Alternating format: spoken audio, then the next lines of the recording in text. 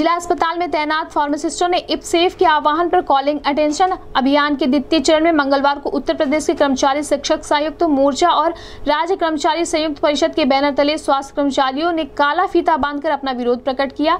साथ ही नगर प्रतिकर भत्ता समेत छह अन्य भत्तों को पहले फ्रीज करने और तत्पश्चात उन्हें समाप्त किए जाने संबंधी आदेशों को तत्काल समाप्त करते हुए सभी भत्तों को बहाल तथा सार्वजनिक सेवा क्षेत्र को मज़बूत करने की मांग की। इस संबंध में जिला महामंत्री डी के सिंह ने बताया कि कोविड 19 जैसी वैश्विक महामारी से निपटने के लिए हम सभी स्वास्थ्यकर्मी पूरी निष्ठा से अपने दायित्वों का निर्वहन कर रहे हैं। ऐसे में सरकार हमारे वेतन भत्ते में कटौती करके हमारे मनोबल को धराशायी कर रही है। इस संबंध में गोरखपुर न्यूज़ से बात करते हुए जिला महामंत्री डी के सिंह ने कहा।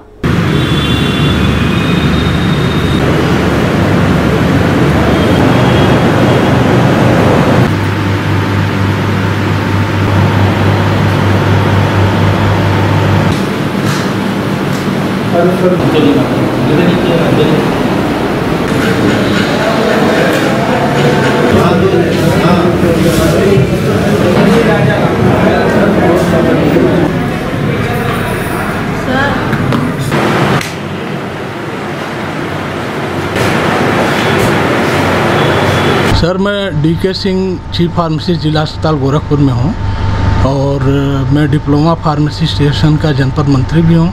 राज्य कर्मचारी संयुक्त परिषद का भी जनपद मंत्री हूँ। और सारे कर्मचारी जनपद के इसलिए दुखी हैं कि हम सभी लोग मिलकर इस महामारी में काफ़ी शिद्दत के साथ और तन्मयता के साथ मरीजों की या आम जनमानस की सेवा कर रहे हैं। सरकार की जो मंशा है, उसके साथ हम लोग काम कर रहे हैं। उसके बाद भी हम लोगों का डीए को फ्रीज कर दिया गया।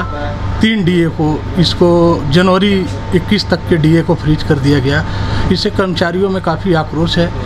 उत्तर प्रदेश सरकार ने जो छः भत्ते थे हमारे कर्मचारियों के, उसको समाप्त करने का काम किया है। जहाँ इस महामारी के समय में कर्मचारियों का और बुस्टअप करना चाहिए इनके मनोबल को, वहाँ सरकार कर्मचारियों के मनोबल को डाउन करने का काम कर रही है। इस लॉकडाउन के पीरियड में हम लोग सोशल डिस्टेंसिंग का पालन करते हुए आज काला फीता बांटकर विरोध प्रदर्शन कर रहे हैं और लॉकडाउन के बाद हम लोग एक बड़े आंदोलन पर अगर हम लोगों का ये डीए और ये भत्ते जो कटे हैं, ये बहाल नहीं हुए तो हम लोग पूरे राज्य कर्मचारी संयुक्त परिषद के बैनर तले एक बड़े आंदोलन पर जाएँगे इस लॉकडाउन के बाद।